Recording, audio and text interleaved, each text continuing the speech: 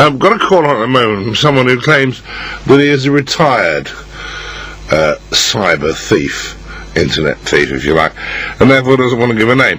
And I don't normally take calls out names, but on this occasion we'll take a chance and see just um, what value we get from it. Good evening.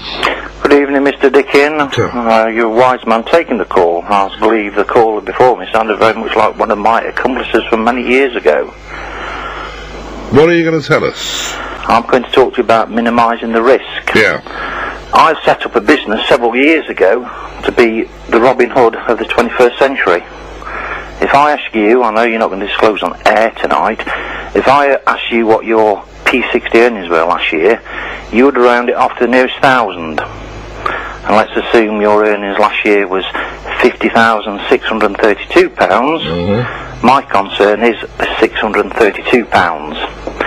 If I can take that from your bank account or credit cards or any other internet access device that you may have, then other people aren't going to come and break into your house. Which Why means, is that?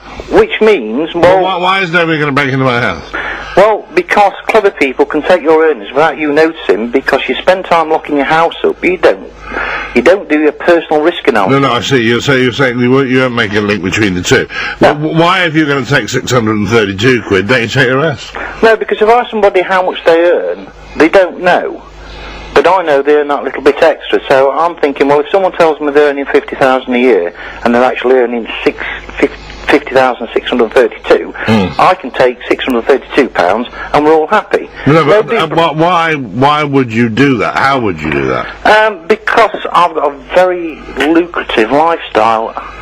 No, how would you do that? Well, it's quite it, it's quite simple. For example, if I wanted the key to the door, and, and, and this is a paraphrase, I'm not going to break into your house, and I haven't got a key to your door. But if I wanted the key to your finances, the first thing I need is your national insurance number, Mm-hmm. and I can get that very easily by using accomplices to ring round all the medical centres in your area within a 50 mile radius, uh, and doing some sort of check on whether you are registered with them. I would then build up a report with a practice manager uh, to say that you've got some sort of private medical claim from there. I've got your national insurance number and all the sorts of details. Once I involve a private medical claim, we can then, or we could then, uh, refer that to an insurance company because once we've got your national insurance company, we will know whether you're contracted into the state pension or out of the state pension. If you're contracted out, that means some of your national insurance companies go to an insurance company. We then lodge a complaint to say that you were misadvised. And you do all that, um, involve all those accomplices, all those phone calls, for 632 quid. You're sad. This is talkSPORT. I don't know if you heard our last caller. If you did, uh, you'd have formed your opinion of him. Was he uh, an ex-con man? Was he currently still operating as a con man? Or did the words Walter Mitty come to mind? 0870